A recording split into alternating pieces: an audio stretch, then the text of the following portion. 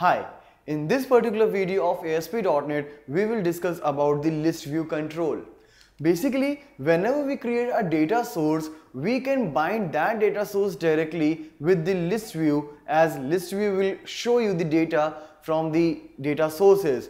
So we have already covered a number of data sources, so you can just bind the list view with any of that data source. List view gives you a big variety of representation of data where you can either show as an individual record or you can group them as well. For example, if you have some images in your database and you want to show them multiple images on a same line. Multiple images means maybe the multiple profile pictures of the different users. So in short, you can show multiple records at a same line as a thumbnail. So either you can group them or you can show them as an individual. Like the other controls which we have covered, even in list view, you can edit, insert, delete or sort the data without any code.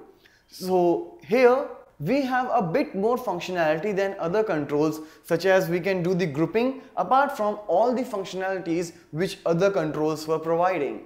So let's have a practical implementation of the list view control. So let's start the implementation of list view now. For that, first of all, I will add this list view control and can choose the data source for that. So for this, I'll choose a new SQL data source for which I'll take the existing connection string for me and then I will choose the particular tables from the list.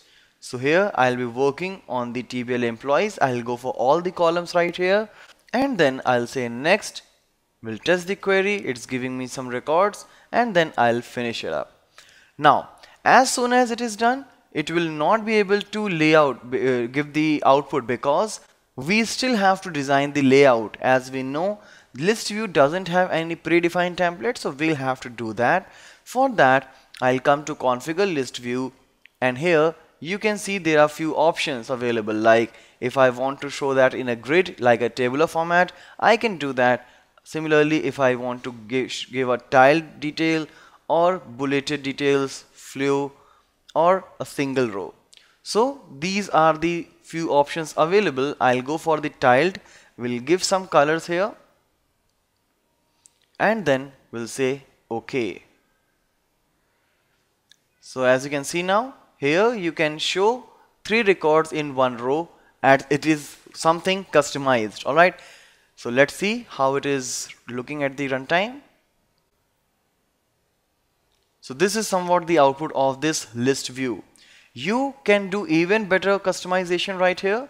If you want, you can come here in the source and can put some tags. As you can see, there is already few tags available inside it like insert item template, group template.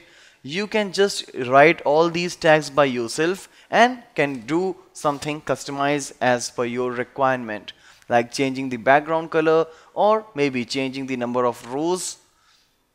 As here the group item count is 3 if you want you can change it to 4 it will show you 4 records per row like this. So this is how you can start implementing the list view control. Now you can also do the paging but this is what we will do in our next control that is data pager control